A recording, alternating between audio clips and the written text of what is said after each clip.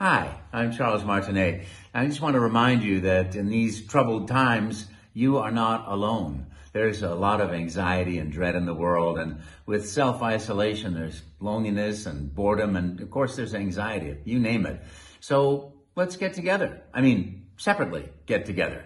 Let's get gaming. Connect with families and gamer friends and people around the world. Build a community and have fun. You can enter the world's largest gaming tournament right here. You are not alone. And play against celebrities, athletes, fellow gamers while joining the fight against COVID-19. You are not alone. Proceeds go to fund research and relief for the community.